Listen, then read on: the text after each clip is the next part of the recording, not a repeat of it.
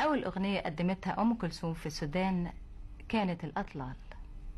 لفتة واحدة من إيدها وآهة واحدة من صوتها علشان المعنى الجميل يتولد وتبدأ الذكريات.